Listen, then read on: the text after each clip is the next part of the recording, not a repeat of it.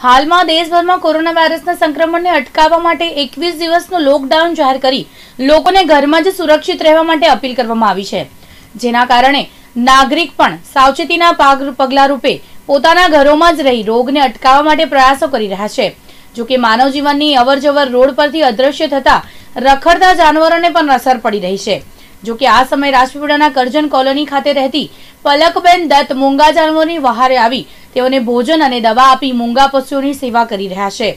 એક તરફ, લોકડાઉનમાં અનેક સામાજિક સંસ્થાઓ ગરીબ અને જરૂરિયાતમંદોને અનાજ અને ભોજન પહોંચાડી સેવાકીય પ્રવૃત્તિ કરી રહ્યા છે. ત્યારે રાજપીપળાની પલકબેન શેરીઓમાં ફરતા કૂતરાઓ, ગાયો, ગધેડાઓ સહિત જાનવરોને બે ટાઈમનું ભોજન આપી સેવા કરી રહ્યા છે. એટલું જ નહીં, જો કોઈ જાનવર બીમાર કે ઈજાગ્રસ્ત દેખાય તો એનિમલ હેલ્પલાઇનનો સંપર્ક કરી તેઓની સારવાર પણ કરાવીને સાચા અર્થમાં સેવાકીય પ્રવૃત્તિ કરી રહ્યા છે. લોકડાઉનમાં તમે કેવી સેવા આપો છો? લોકડાઉનમાં બે ટાઈમ જે આપણે street dog street cow cow છે એમને ખાવાનું મળતું ને એમને ખાવાનું આપું છું બે ટાઈમ. ના ના ના કોઈ સહાય નહીં. આ મારી જ ખાલી પર્સનલી છે સેવા. અને શું અપેક્ષા રાખો લોકો આ માટે જાગૃત બનવું જોઈએ હા બનવું જોઈએ. હું એકલી હવે તો એવું છે કે આપણે બધા એરિયામાં તો માથી કવર નહીં થઈ શકતું. તો જો કદાચ ગલીની બહાર નીકળીને તમે ખવડાવો કાં તો ધ્યાન રાખો તો हम्म। हम्म। मैडम का खोला आया था बोला गया था ये डंकी है जिसके पिछले पैरों में चोट लगी है ब्लीडिंग भी हो रही है।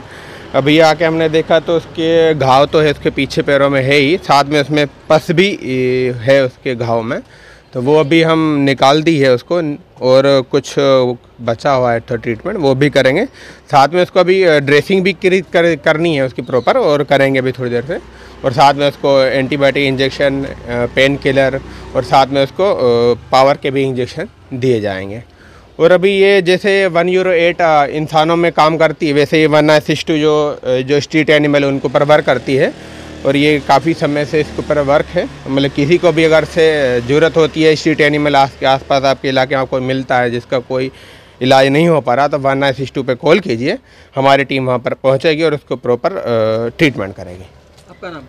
मेरा नाम डॉक्टर भिमन्यू है।